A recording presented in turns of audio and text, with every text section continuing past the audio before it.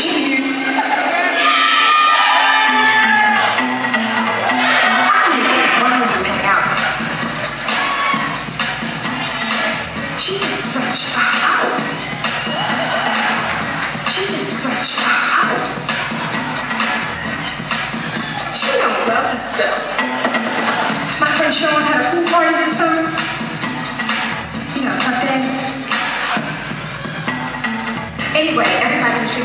and then it started to get wild. You and stuff.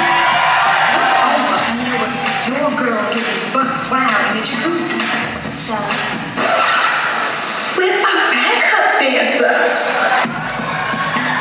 I mean, that's nasty. That's that's lowering the guard.